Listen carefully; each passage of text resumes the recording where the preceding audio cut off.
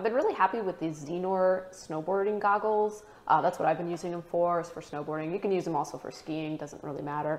But um, it's got a good sturdy strap and I was able to easily adjust that for fitting me. And I love the blue tint.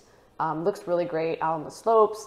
And these goggles actually, um, I'm going to show you what they look like on so you can kind of get an idea. Uh, but they came with this nice little carrying bag, which I've kept in here, and it's helped protect the lens from scratching up too much. So here we go. So I've got the goggles up here with my beanie on so you can get an idea of what they actually look like in use.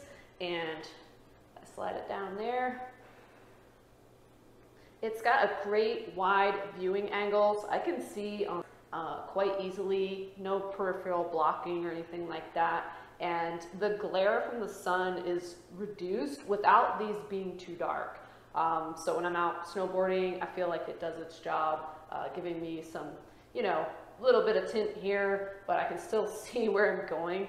And the goggles themselves are very comfortable. They've got a nice foam um, around the edges here.